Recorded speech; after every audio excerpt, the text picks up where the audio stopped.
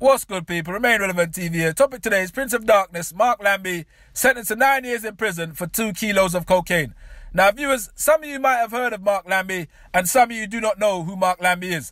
Now, Mark Lambie is from the north side of that London. He had a street reputation back in the day when he was younger for robbery and kidnapping of drug dealers. Now, viewers, it goes to show education is the key to all success.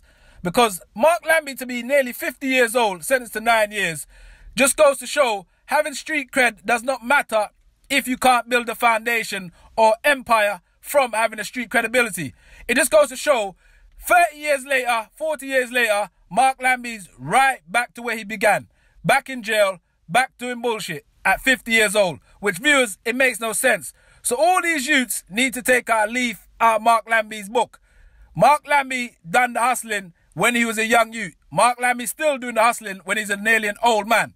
Viewers, if it never worked for Mark Lambie on the road or the hustling thing, it's sure not gonna work for these young youths out here killing for no fucking reason.